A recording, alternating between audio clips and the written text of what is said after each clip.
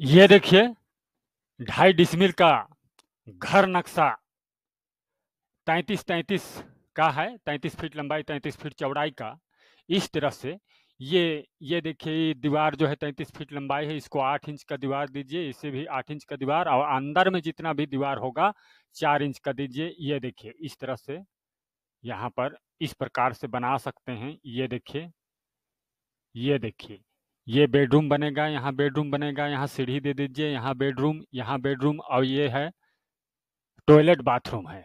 ये देख लीजिए, इस प्रकार से ये देखिए, यहाँ इस तरह से इधर दरवाज़ा कीजिए, या यहाँ पे कर सकते हैं।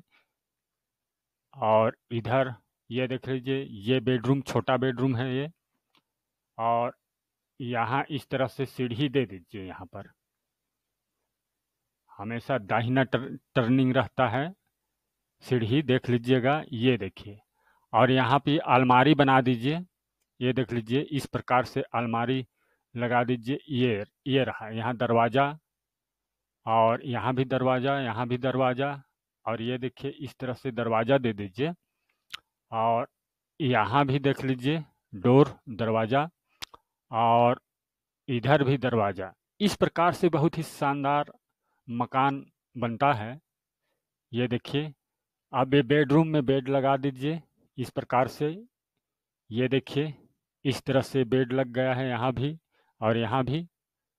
और ये बेडरूम में देख लीजिए, ये रहा बेडरूम और ये चार बेडरूम बना सकते हैं इसको। इस बेडरूम को बड़ा भी कर सकते हैं यहाँ तक। आठ दस का भी बना सकते हैं इसको। और ये दरवाज़ा को इधर ला के इस तरह से बहुत ही सुंदर बना सकते हैं। ये देखिए, यहाँ पर आप चाहें तो दीवार बना के दरवाज़ा दे दीजिए यहाँ। ये देखिए, यहाँ पर खिड़की लगा दीजिए, इस तरह से नहीं, ये देखिए, ये खिड़की रहा और ये भी खिड़की रहा। ये दीवार है, रेड कलर यहाँ पड़ गया है, यहाँ पर ऐसे दीवार होगा। ये देखिए, इस तरह से यहाँ भी खिड़की यहाँ भी दे दीजिए। और यहाँ भी बना दीजिए खिड़की, ये देखिए।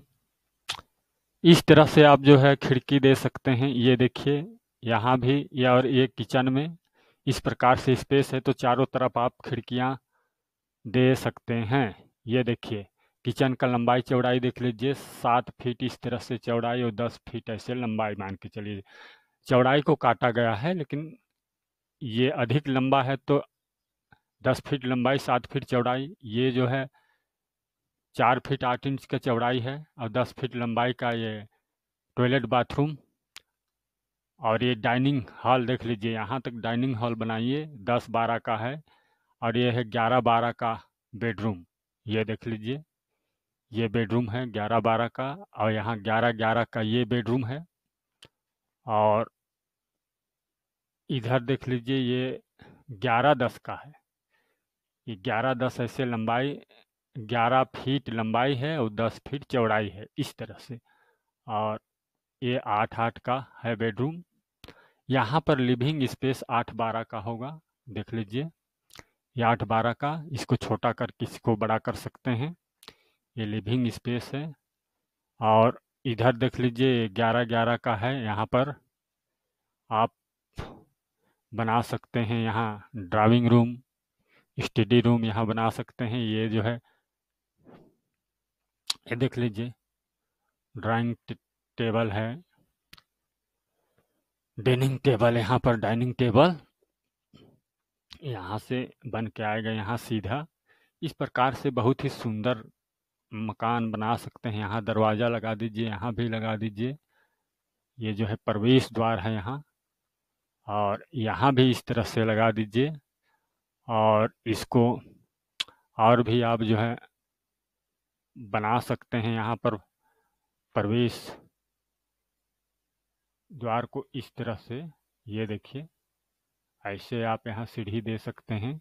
इस तरह से प्रवेश करके इधर जो है जा सकते हैं। यहाँ दरवाज़ा है और ये है डाइनिंग टेबल। बहुत ही सुंदर और शानदार बनता है।